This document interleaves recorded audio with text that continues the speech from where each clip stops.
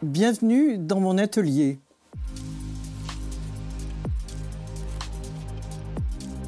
Je suis Orlan, entre autres et dans la mesure du possible, et mon nom s'écrit chaque lettre en majuscule, parce que je ne veux pas qu'on me fasse rentrer dans les rangs, je ne veux pas qu'on me fasse rentrer dans la ligne. Je veux sortir du cadre. C'est une œuvre que j'ai faite au tout début de ma carrière et en fait c'est ce que j'ai essayé toute ma vie, de sortir du cadre, que ce soit du cadre des beautés qu'on nous propose ou bien d'autres choses. Ici, nous avons euh, une œuvre qui est une série des self-hybridations africaines. J'ai pris des photos ethnographiques et je les ai mixées, mélangées, hybridées à mon visage. Cette œuvre dit tout ce que j'ai envie de dire sur la beauté. C'est comme un manifeste. Vous voyez cette femme comme elle est sûre d'elle-même, comme elle est sûre de sa séduction.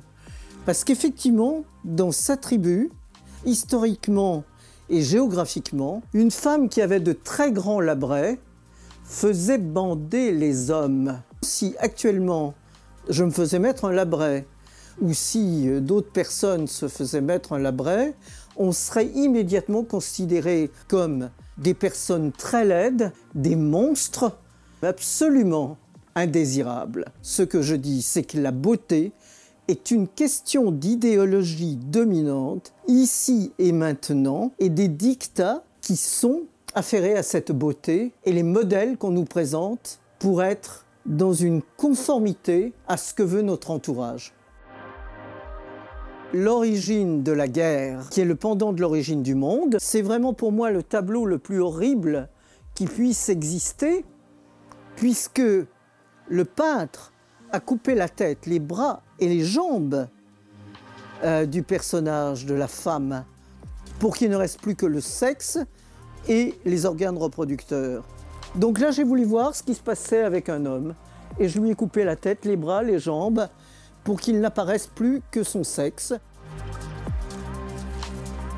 Je vais vous emmener voir mon orlanoïde, qui est un robot qui me ressemble, qui parle avec ma voix. Cet orlanoïde a un générateur de texte et un générateur de mouvement. Ce n'est pas un automate, ce sont des gestes ainsi que des textes aléatoires et génératifs.